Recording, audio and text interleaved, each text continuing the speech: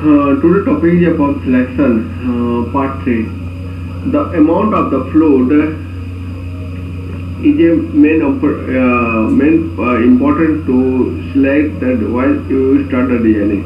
The amount of the fluid first and second is a property of the fluid.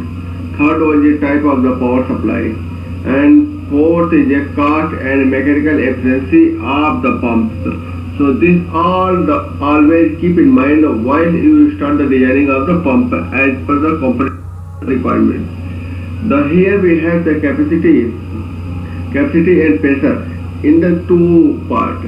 So in the capacity low capacity, high capacity and higher. Gear pump having the low capacity power. Low pump, uh, gear pump has low capacity power. low pump, high capacity. And centrifugal pump, the higher, then the, these two are the low and uh, gear pump. Here, in the pressure, small are the water trap, pressure rotary plunger pump, plunger are the rotary piston pump can handle the bearing easily. Uh, just keep in mind, high pressure pump and also the moderate of the high pressure reciprocating of the rigid is to are the capable to do the with the component of the high pressure. So just keep in mind.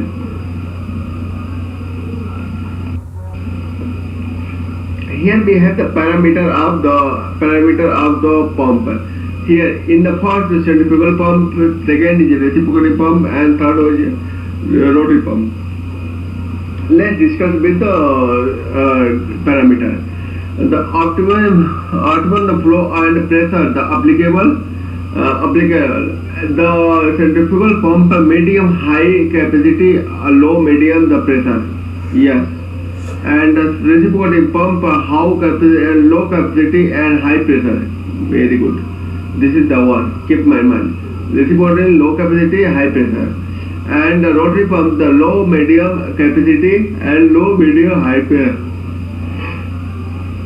uh, low medium pressure so this the rotary pump is uh, both different between the both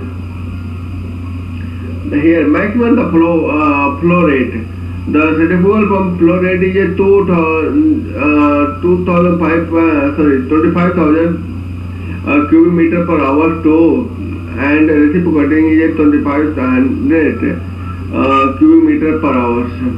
Yes, this is the different per hour cubic meter per hour, and this is the mm, uh, yes, both are the same, similar. So you can say the centrifugal and rotary, so reciprocating pump is both have the capacity um, and flow rate is similar. And here the rotary pump 2500 also the same. So all three in the maximum flow rate is same. We cannot uh, make the difference between the both. Here the low flow, flow rate capacity. Centrifugal pump no. Reciprocating pump yes, rotary pump yes. So here we have, so centrifugal pump only to make the high pressure. That's it. And maximum pressure.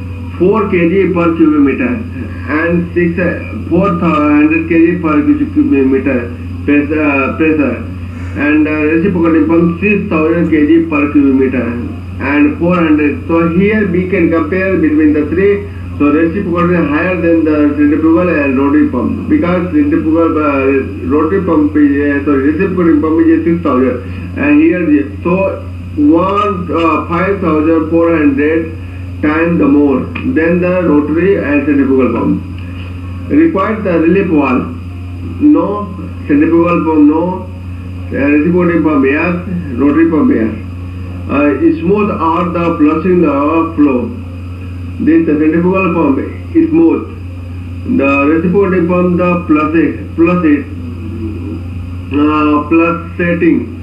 the, the on the rotary pump is, is more. So if it's more the plusing, uh, plasting, see it, uh, both of the centrifugal and rotary pump is same and different of the uh, the, the pump.